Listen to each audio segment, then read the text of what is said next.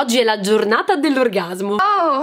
Per alcuni di noi è una specie di giornata di lutto in memoria dei bei tempi andati. Non è che ho avuto io.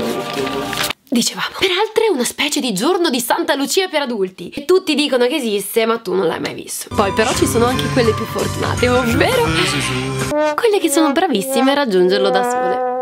Scherzi a parte. Io non stavo scherzando per prima. In onore di questa importantissima ricorrenza, ecco le 5 cose anti-orgasmo che prima o poi tutti gli uomini fanno. Uomini, prendete appunti che dopo vi interroghiamo. Uno glielo deve dire, no? Al quinto posto c'è il quiz a premi. Mentre siete sul più bello, lui inizia a martellarvi di domande tipo Gerry Scotti. Allora? Ti piace? Sei venuta? Eh, allora ci sei quasi. Basta!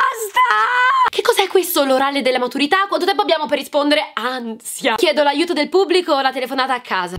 L'accendiamo? Ma soprattutto, abbiamo vinto qualche cosa? Al quarto posto c'è la chiamata dell'ascensore, ovvero quella perla d'uomo che tocca il nostro clitoride come se fosse il pulsante difettoso dell'ascensore.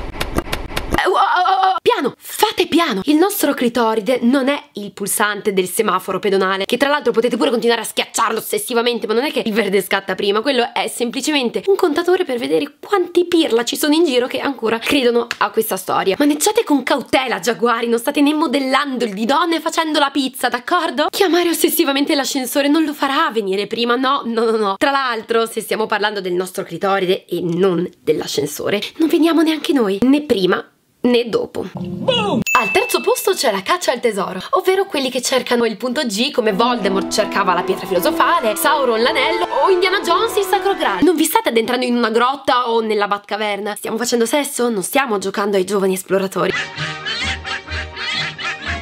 Al secondo posto ci sono i 100 metri piani. Dovete capire che noi al massimo abbiamo fatto la, la campestre, le elementari e poi la nostra carriera sportiva quindi che cos'è? Spirito di competizione? È una ripicca nei confronti dell'emancipazione femminile? Non c'è altra spiegazione perché ogni volta che noi stiamo per raggiungere l'orgasmo, voi che fate? Ingranate la super velocità e tagliate il traguardo prima di noi. Sono arrivato prima io. Gne, gne, gne, gne. Che per carità noi saremo pure lente, però ogni tanto voi siete un po' come la controfigura di Flash. È del tutto normale, può succedere. Però porca di quella miseria, mancano 5 secondi, 5. E ripassate la tabellina del 7 o ripensate al vostro amico ubriaco che vomitava l'anima e il gin 5 secondi 4 3 questa cosa dovrebbe essere illegale. Al primo posto, le notifiche del cellulare. Vi è mai capitato di fare sesso con uno che nel frattempo ha il cellulare che è tutto un...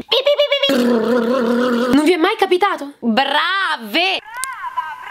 Perché voi siete donne intelligenti e a uomini così non gliela date. Provateci a raggiungere l'orgasmo tra la suoneria con l'ultima hit di Rihanna e le notifichine con tutte le trombette da stadio. No, non mi disturba affatto, mi dica. Tra parentesi, questo non è l'unico problema del sottotipo di amante sempre connesso. E molto probabilmente farà una cosa aberrante appena concluso. Sto parlando della pratica antisesso per eccellenza. Si metterà a scorrere beato le notifiche e i messaggi. E questo lo stava facendo due minuti prima di iniziare a smanettare le nostre parti basse e ripreso a farlo dopo due minuti. È chiaro che noi siamo state l'immeritato apostrofo rosa tra le parole sei un coglione. Questo è un messaggio importantissimo, massima diffusione. L'orgasmo è quasi sempre una questione di testa, non è un traguardo. Non è importante raggiungerlo sempre da soli, in coppia o guardando un porno.